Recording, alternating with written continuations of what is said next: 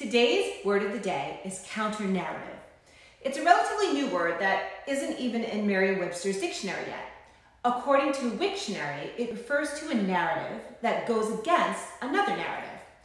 Personally, I hate when words are defined by using a part of the word that you're trying to understand. I think a better definition is that a counter narrative is a story from a perspective that differs from the prevailing accepted version of events. The word came up in a book that I recently read and loved called Blood and Oil. It's by award winning Wall Street Journal reporters Bradley Hope and Justin Scheck. Um, this book was an exhaustively researched account of Saudi Arabian Crown Prince Mohammed bin Salman's rise to power.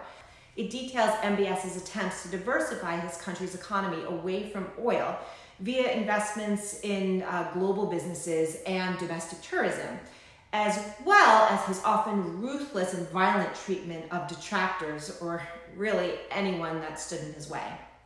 In one section, concerning the murder of author, journalist, and commentator Jamal Khashoggi, the authors used the word counter narrative to describe the Saudi Arabian government's attempt to absolve MBS of any guilt in the assassination. Many in the intelligence community believe that MBS ordered Khashoggi's killing, which was caught on audio tape by Turkish authorities. The authors wrote, by Saturday, October 20th, the counter narrative, which stripped the crown prince of any culpability, emerged with an account that Saudi agents traveled to Turkey to bring Khashoggi back to Saudi Arabia, but the discussions escalated negatively and led to a fight and then quarrel between some of them and the citizen. The brawl aggravated to lead to his death and their attempt to conceal and cover up what happened.